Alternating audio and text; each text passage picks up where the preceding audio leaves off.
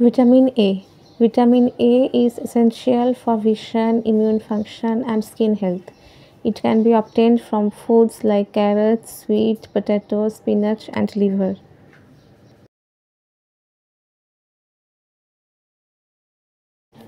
Function of vitamin A. Vitamin A plays a crucial role in various bodily functions, including 1. Vision, essential for the function of the retina and low light vision. 2. Immune system support aids in maintaining the health of the skin and mucous membranes, which act as barriers to infection. 3. Cell growth and differentiation important for the growth and specialization of cells. 4. Reproduction vital for the development of the embryo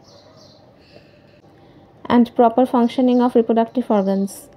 5. Skin health promotes healthy skin by regulating cell production and preventing dryness and infections. It's important to maintain an adequate level of vitamin A for overall health.